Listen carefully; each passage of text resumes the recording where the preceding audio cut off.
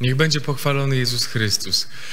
Witam Was serdecznie na tym forum charyzmatycznym w Szczecinie i dziękuję księdzu Piotrowi za zaproszenie mnie i bardzo przepraszam, że nie ma mnie osobiście, gdyż moja wina, podjąłem się tego zadania, a nie sprawdziłem dokładnie w grafiku, w kalendarzu i wyszło, że mam jeszcze misje parafialne w tym samym czasie i bardzo przepraszam. I dziękuję księdzu Piotrowi szczególnie za zrozumienie, który miał pomysł, żeby może taką krótką konferencję do Was, kochani, nagrać. W związku z tym tu z Jasnej Góry i takie nagranie chciałem Wam wszystkim przesłać. Ponieważ jest to forum charyzmatyczne o Duchu Świętym, ale też ksiądz Piotr mówił y, o Matce Bożej, żeby coś powiedzieć. Chciałbym od tego zacząć w takim temacie, czy zadowolić Boga, czy ja mam się czuć zadowolonym. Kiedy czytamy Ewangelię według świętego Jana, jest napisane tak w XIX rozdziale. Żołnierze, gdy zaś ukrzyżowali Jezusa, wzięli jego szaty i podzielili na cztery części dla każdego żołnierza po części. Wzięli także tunikę. Hm, ciekawe, że ci żołnierze stali pod krzyżem. Matka Boża stała pod krzyżem, z drugiej strony żołnierze stali pod krzyżem. Pod krzyżem my wszyscy też stoimy, przychodzimy do kościoła pod krzyż. Bo z krzyża Jezusa Chrystusa bierze się Eucharystia. To jest pokarm z krzyża nam dany. Żołnierze twardo stali pod krzyżem Jezusa, ale też stała tam niewiasta. To uczniowie przerażeni uciekli, a żołnierze stali. Zadziwiające. Uczniowie uciekli, ale żołnierze trwali i to jeszcze o dziwo po śmierci Jezusa również tam byli. Chociaż nakaz rzymski był taki, że po śmierci skazańca nie mogli już trwać pod krzyżem, pod narzędziem zbrodni, tortury. Tak naprawdę musieli opuścić to miejsce, a mimo zakazu byli. A uczniowie, mimo tego, że powinni być, odeszli. Tylko pytam się, po co trwali ci żołnierze pod krzyżem? Po co tam byli? Tak naprawdę po to, żeby coś wyciągnąć od Jezusa z Jego śmierci. Bo wzięli tunikę, podzielili na cztery części Jego szaty.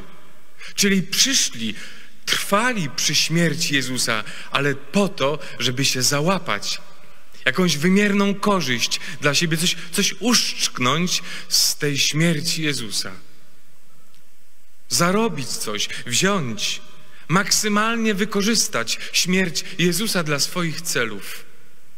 Jakże inną była tam właśnie Matka Boża, która po prostu była, nic więcej nie jest napisane, trwała pod tym krzyżem.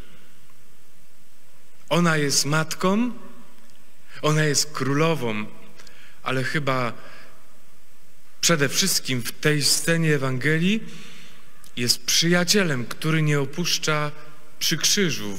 Jest przyjacielem, który nie opuszcza w kłopotach, bo prawdziwego przyjaciela można spotkać wtedy, kiedy przeżywam swoje własne prawdziwe i trudne okoliczności i kłopoty. Żołnierze rzucili się na szaty Jezusa, a Maryja nic nie wyniosła tak po ludzku to wszystko straciła. Straciła swojego jedynego syna. Więc w której postawie mogę się odnaleźć? Po co przychodzę do kościoła? Po co przychodzę na Eucharystię, na modlitwę? Czy jak żołnierze, żeby wykorzystać śmierć Jezusa, coś wziąć dla siebie? Panie Boże, zdrówko, Panie Boże, pieniążki, może nowy dom, może nową pracę, ładną żonę, przystojnego męża, jeszcze oczywiście silnego i doskonale uformowanego. Po co przychodzę do Jezusa? Żeby coś chcieć od Niego? Bo Maryja przyszła po to, żeby mieć Jego. Przyszła dla Niego, a nie dla tego, co Jezus mógł jej zaoferować. Obok żołnierzy stała Maryja. Nie rzucała się na jakieś rzeczy, nie wzięła sukni, nic nawet nie powiedziała, tylko cicho trwała, patrząc na umierającego syna. Po prostu była, po prostu trwała. Ktoś powie tylko tyle? Aż tyle.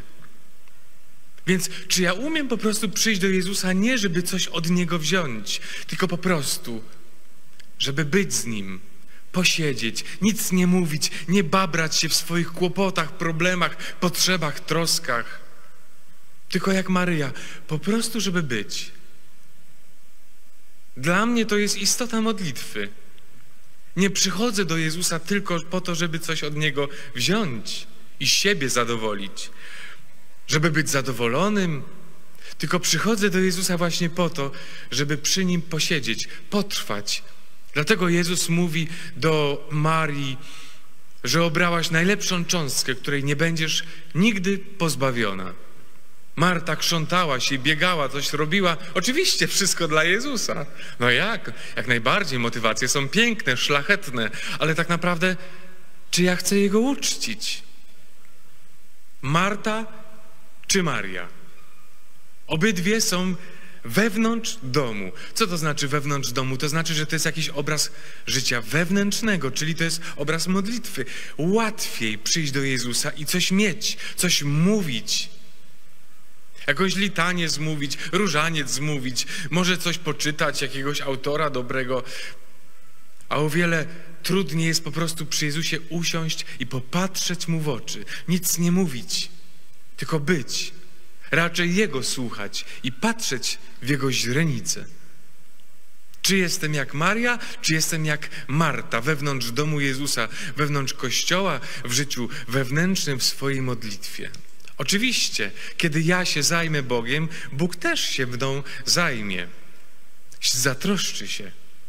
Tylko chodzi o to, co jest celem mojej, mojej modlitwy. Pięknie o tym mówi yy, Psalm 22. On mówi tak, od wiersza 19. Dzielą między siebie moje szaty i los rzucają o moją suknię. Ty zaś, o Panie, nie stój z daleka. Pomocy moja, śpiesz mi na ratunek. Ocal od miecza moje życie, od psich pazurów wyrwij moje jedyne dobro. Jedyne dobro. Wybaw mnie od lwiej paszczęki i od rogów bawolich, wysłuchaj mnie. Ten tekst mówi, chyba jest takim dobrym komentarzem, czy można go porównać z tą Ewangelią według świętego Jana, którą przed chwilą czytałem. Dzielą między siebie moje szaty i los rzucają o moją suknię. I Pan Bóg pozwolił na to. Bóg nie bronił tej sukni, nie bronił żadnych szat, nie bronił pozwolił, żeby jego syn został okradziony z tych szat. Ale psalmista mówi proroczo, Ty zaś, o Panie, nie stój z daleka, pomocy moja, śpiesz mi na ratunek. Ocal od miecza moje życie, nie szaty ocal, nie suknie ocal, nie, niech se wezmą, tylko ocal od miecza moje życie. Moje jedyne dobro, bo tak naprawdę moje życie jest dla Boga jedynym dobrem. Nie to, co mam, tylko ja. Wybaw mnie od lwiej paszczęki. Taki jest Pan Bóg. Nie broni moich szat. Nie broni tego, co tam posiadam, w czym się noszę czy obnoszę. Mnie obroni, moją duszę obroni. Nie obroni tego, co mam, co posiadam, co noszę w portfelu. Że te słowa spod krzyża i ten psalm pokazują mi jedną istotną rzecz i tego się uczę od Maryi. Że Bóg nie broni tego, co ja posiadam. Nawet nie obroni tego, co mam, co jest, co jest bardzo ważną rzeczą, ale nieistotną. Bo to, co mam, nie przeniesie mnie do wieczności, prawda? Te ciuchy mole zjedzą. Chyba, że wcześniej umrę i akurat w tym habicie mnie pochowają. No to jaka przyszłość tego habitu? Robaki w trumnie. No nie, nie przeniesie mnie to, co mam, do wieczności. Jest ważną rzeczą habit. Nawet świętą, bo poświęconą. Ale nie to mnie przeniesie do wieczności. Dlatego Bóg nie będzie tego bronił. Nie, dzielą między siebie moje szaty i los rzucają o moją suknię. Jednak, Panie, Ty nie stój z daleka i pośpiesz mi na ratunek. Ocal od miecza moje życie, moje jedyne dobro wyrwij z psich pazurów. Mnie wybaw. Czyli nie to, co mam, ale ja jestem istotny dla Boga. I ten psalm pokazuje optykę Boga, że Bóg interesuje się mną, a nie tym, co ja posiadam. Bo tylko człowiek, Twoja dusza jest nieśmiertelna. To, kim jesteś, trwa, a nie to, co masz. Dlatego Bóg nie będzie bronił moich szat, nie będzie bronił moich pieniędzy, nie będzie moj, bronił mojego domu, nie będzie bronił mojego samochodu, tylko obroni mnie, obroni człowieka, o moją duszę będzie walczył. Bo Bóg chce mnie i Bóg chce Ciebie, a nie tego, co posiadasz. Boże, jaki jesteś czysty w intencjach w stosunku do mnie. Jaki Ty jesteś czysty. Nie szukasz tego, co ja mam, tylko szukasz mnie. Bóg nie będzie bronił mojego majątku, nie będzie szukał mojej pieniędzy. Dlaczego? Dlaczego Bóg nie obroni mojej własności? Ponieważ to go nie zadowoli. Nie zadowoli Boga to, co mam. Tylko Ty go zadowolisz, tylko ja go mogę zadowolić. Chcesz mnie. Bóg chce Ciebie, a nie tego, co posiadamy. I to jest jedna strona tej prawdy. Taki jest Bóg, czysty w intencji do mnie i do ciebie. A z drugiej strony, po co ja przychodzę pod krzyż Jezusa? Czy ja nie szukam jakiejś wymiernej korzyści? Więc może dzisiaj tak powiem Bogu na adoracji, Boże, ja też nie chcę nic od Ciebie dziś. Nie szukam nic od Ciebie, nie chcę od Ciebie pieniędzy, nie chcę od Ciebie dyplomów, nie chcę od Ciebie certyfikatów, nawet z teologii, nie chcę od Ciebie jakichś szat, nie chcę od Ciebie jakiejś nowej pracy, czy nowego samochodu, posiadania mieszkania, czy sprawiania, że wszystko od A do Z mi się w życiu udaje. Nie chcę od Ciebie wygranej w totolotka, nie chcę, Panie Boże, od Ciebie, bo mnie też tak naprawdę nic nie zadowoli. Tylko Ty, Boże, możesz mnie zadowolić. Tylko Ty, Boże, mi, mi wystarczysz. Nic innego mnie nie przeniesie do Ciebie. Nic. Tylko miłość Twoja do mnie i moja do Ciebie, Panie. Więc pomódmy się dzisiaj w taki sposób. Nic od Niego. Najwyżej prośmy, Boże, Ty moje serce trochę rozszerz, żeby wypełniło się Tobą i nie zadowoliło się jakokolwiek namiastką. Bo Bóg nie bronił sukni, bo dzielili o nią szaty. Los w zasadzie o nią rzucili. Nie broniłeś, Boże, szat, ale broniłeś swojego syna. Przywróciłeś, w zasadzie sprawiłeś, że zmartwychwstał. I taki jest Bóg. Bóg jest czysty w podejściu do mnie. Chciejmy też jak Maryja, a nie jak żołnierze, być czyści w podejściu do modlitwy, do Jezusa, do krzyża. Oczywiście, mogę przychodzić na modlitwę, żeby się poczuć jakoś. Niektórzy ludzie po to przychodzą może, albo chcą tego, może oczekują, że na modlitwie Bóg sprawi, że ich zadowoli, że ta modlitwa ich zadowoli żeby się poczuć zadowolonym. Ale czy to nie jesteś korzyść? Czy ja jestem z Bogiem po to, żeby odczuć korzyść emocjonalną, nie tylko materialną? To jeszcze łatwo znieść, ale co jest celem mojej modlitwy? Oczywiście Bóg daje nam przyjemność podczas modlitwy, żeby nam pokazać, że Jemu też jest miło, że nas ogląda. Przecież Bogu też sprawiamy przyjemność, chociażby nawet słuchaniem czy mówieniem o Nim. Bogu jest bardzo przyjemnie, kiedy daje mu swój czas na modlitwie, tylko że owa przyjemność nie jest celem. Dlatego mówimy w tej konferencji o tym, co jest istotne. Nieraz ja się czuję źle na modlitwie. Idę do Jezusa, jestem już krok przy nim, a Jezus robi, proszę bardzo, krok do tyłu, nie? No trudno mi nieraz na modlitwie wytrzymać, ale on po to to zrobi, żeby mnie wprowadzić w głębie, odejdzie dwa kroki, żebym ja te dwa kroki poszedł naprzód. Wiecie, taki jest, taki jest obyczaj Jego. Takie Bóg ma zwyczaje. No przecież Bóg też ma zwyczaje. Każdy z nas ma swoje zwyczaje. Rano pije kawę, prawda? Różne rzeczy to jest mój zwyczaj, więc Bóg też ma swoje zwyczaje, swoje obyczaje i żeby się z Nim nie rozminąć, chyba należałoby poznać zwyczaje ukochanego. Bo mówimy, że Go kochamy, ale czy znamy Jego obyczaje? Oczywiście bez miłości nikt nie jest w stanie z nas wytrzymać. Nikt. Kochać, wpatrywać się w Niego, nie chcieć nic od Niego, raczej Biblię czytać, żeby wiedzieć, co Bóg chce powiedzieć. Nie da się modlić bez Biblii. Nie da się. Więc patrzę na Niego troszeczkę w ikonie, w obrazie, w Eucharystii, w adoracji, tak bez słów. Po prostu jestem z Nim. Patrzę na Niego, On patrzy na mnie. Żadnych nawet modlitw. Po prostu on i ja jesteśmy ze sobą. I czy to jest w Częstochowie na Jasej Górze, czy to jest w Szczecinie, czy to jest w Krakowie, gdziekolwiek jestem, ja i on jesteśmy razem. Tak patrzymy na siebie po prostu, bez interesów. Modlitwa, spotkanie.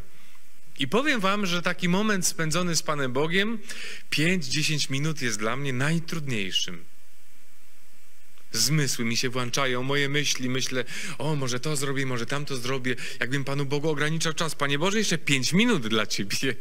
Jakbym z Nim, jakbym z Nim wytrzymać nie mógł. A przecież Bóg jest przyjemnością, jest szczęściem. Ale czytam Biblię i widzę, jak Bóg traktuje swoich przyjaciół, w jaki sposób do nich przychodzi. I się nie dziwię, kiedy kiedy idę na adorację, ja też się trochę tam męczę. Wolałbym obejrzeć jakikolwiek kryminał, niż z Jezusem posiedzieć pół godzinki. Oczywiście ta prawda źle o mnie świadczy. Ja jestem pokrzywiony, a nie Pan Bóg. Ale mówię, jak to odczuwam, nie? Męczę się nieraz na modlitwie, bo nic nie czuję. Jak mówiła mała Tereska, adoracja to jest śmierć dla zmysłów. Zmysły domagają się żeru, coś zrób, coś zrób. A ty modlisz się i nic, i nic nie robisz, po prostu jesteś z Bogiem. Więc Pan Bóg w taki sposób do nas podchodzi. Nieraz ja muszę walczyć, żeby wytrwać z Bogiem, ale aż tak bardzo Bóg nas kocha, że tak bardzo szanuje naszą wolność, że to my musimy niekiedy Go przymuszać, żeby z nami był, a nie On nas. Pamiętacie Księga Rodzaju? Bóg wysyła swoich posłańców do Lota. I teraz Lot wyszedł, w zasadzie to on już stał w bramie, czy siedział w bramie i widzi dwóch posłańców, dwóch aniołów przechodzi i Lot mówi, panowie, znaczy aniołowie, zatrzymajcie się. A aniołowie mówią, nie, my spędzimy noc pod gołym niebem. Hm, pod gołym niebem. W związku z tym Lot ich usilnie prosił, jest napisane. To nie było grzecznie, usilnie, na siłę po prostu, na siłę. Walczyć niekiedy trzeba, z siłą, żeby być z Bogiem. Lot zmusił aniołów, żeby weszli do jego domu. I dzięki Bogu weszli, ponieważ potem go uratowali i jego żonę, i jego dzieci. Więc trzeba siebie przymusić, gdyż jestem leniem w środku, że nie chce mi się nawet nieraz z Bogiem wytrwać. Albo inny moment. Ewangelia Łukasza, 24 rozdział, inne miejsce. Lecz przymusili go, Jezusa, mówiąc: Zostań z nami, gdyż ma się ku wieczorowi. Co to było? To była droga do Emaus.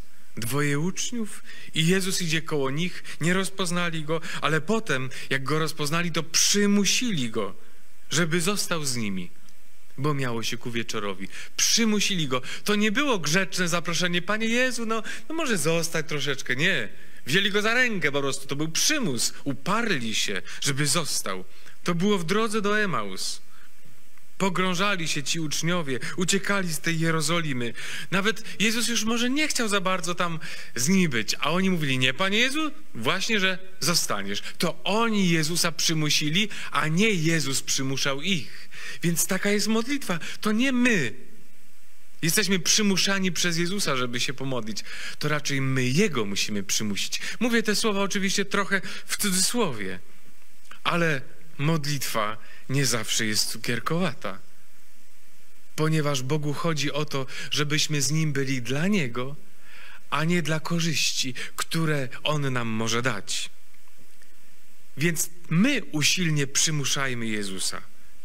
Ponieważ nieraz zwlekamy, odkładamy modlitwę, nudzimy, albo nasze modlitwy grzęzną w drodze do nieba, jakby w ogóle w tym niebie nikogo nie było. No.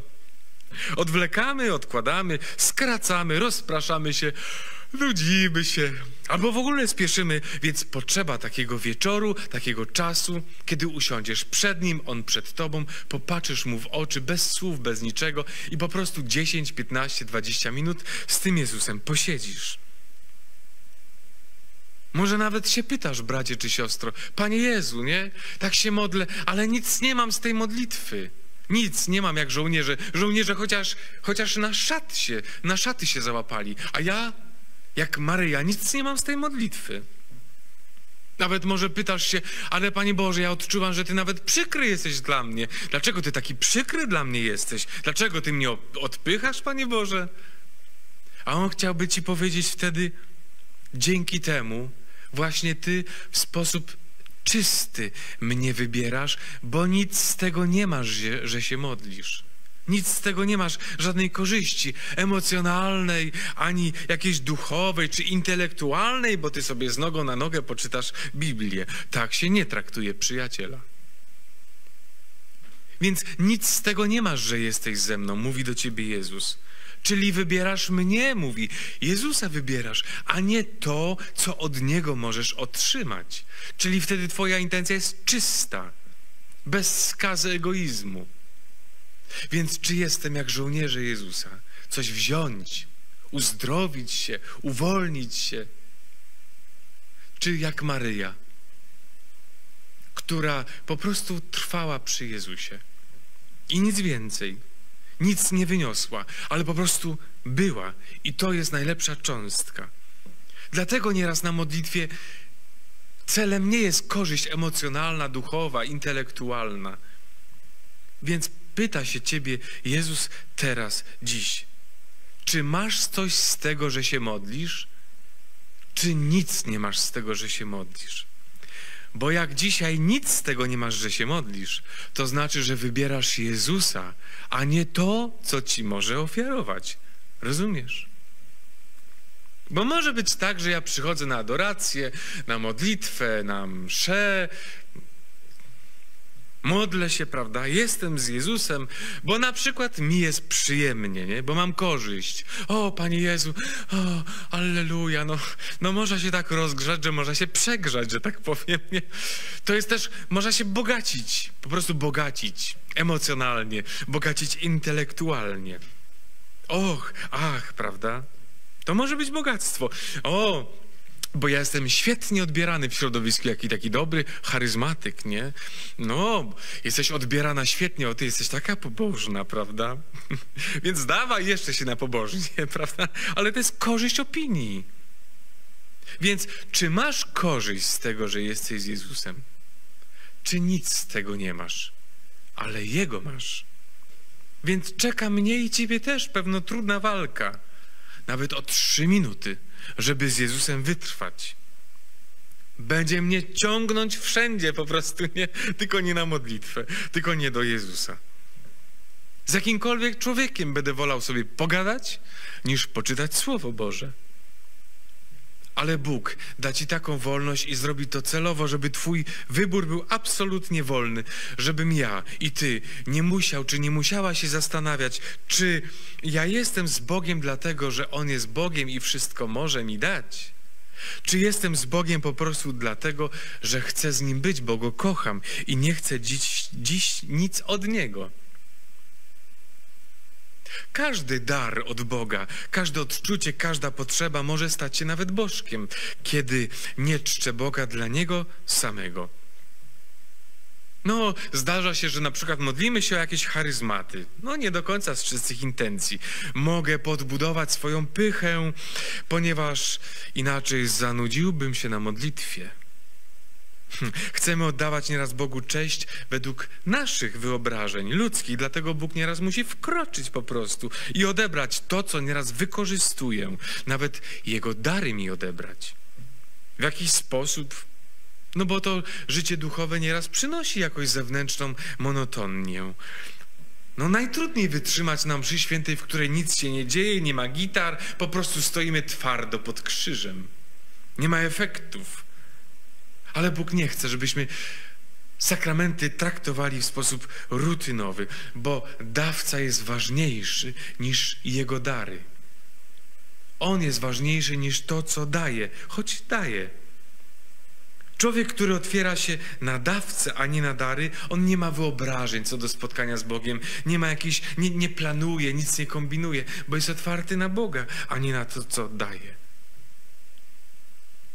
Bóg się pyta dziś Ciebie, szczególnie wtedy, kiedy jest trudno, czy Ty jesteś tutaj na mszy świętej, czy Ty jesteś na adoracji, czy Ty jesteś na spotkaniu, czy Ty jesteś we wspólnocie ze względu na mnie. A może bardziej potrzebujesz ciepła, czy poszukujesz ciepła emocjonalnego, dowartościowania, jakiejś korzyści, nie? Ja mogę nawet modlitwę wykorzystywać. Zwykłą modlitwę, nie?